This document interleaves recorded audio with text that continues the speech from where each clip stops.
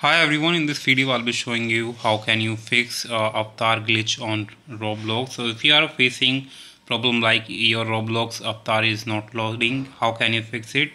Right now uh, when you open the application it says that we are aware that uh, there is an issue uh, with saving changes to the avatars on Roblox.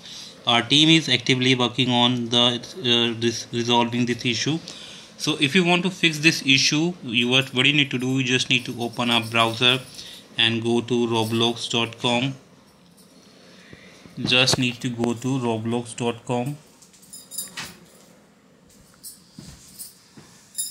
when you open roblox uh, homepage you just need to go to an avatar editor.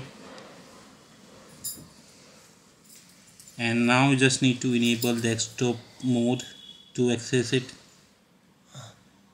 now when you open this guys you just need to under the uh, avatar you just need to tap on this redraw option to uh, fix your avatar glitch.